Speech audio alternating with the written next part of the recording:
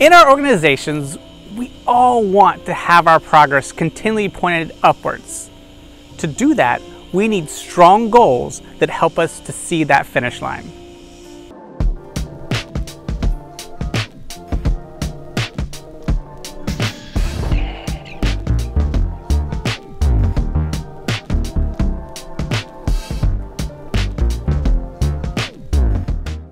Hi, I'm Brett and I want to talk to you about the keys to successfully creating and completing goals. So in completing our goals, there are five keys to remember.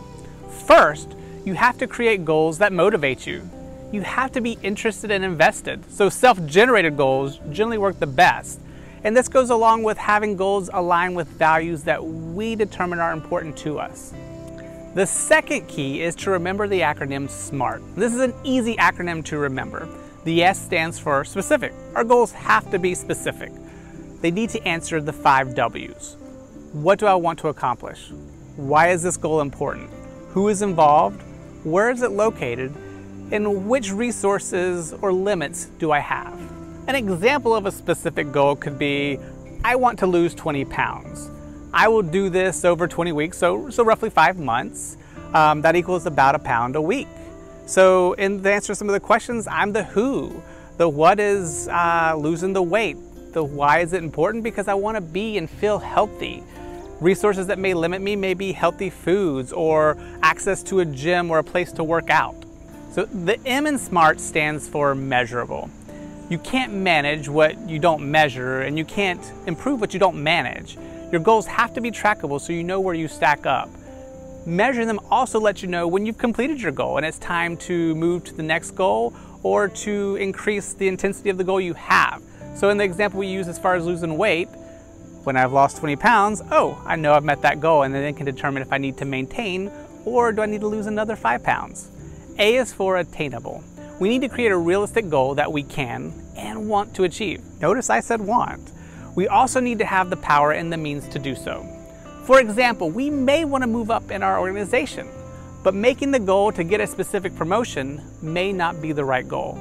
This goal is dependent on who else applies, a hiring manager's decision.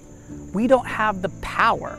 Instead, a goal could be getting the experience and the training needed to be considered for the promotion. This way we have the power to complete it. R is for relevant. This step is to ensure that the goal matters to you and aligns with your current situation. Sometimes it's just not the right time for a goal based on outside circumstances because you need to be able to invest fully to complete the goal. And T is for time bound. A goal needs time frames. You have to have your end goal as well as check-in time frames along the way to make sure that you're on the right path. Going back to the example of weight loss. Well, I know I'm going to lose 20 pounds in 20 weeks. But every week I'm going to look to see if I'm on the path by losing that one pound. The third key is to write your goal down and all the information that goes with it. Having it visible and concrete will help keep it in your mind and help it to stay a focus for you. This helps sustain your motivation and it makes it real. The fourth key is to create an action plan. This will help you manage expectations for your goal and gives you a working document where you can track your progress. This provides the appropriate steps and supports you with the actions that you need to take. The final key is to stay the course. This step involves checking back regularly to follow up on our progress.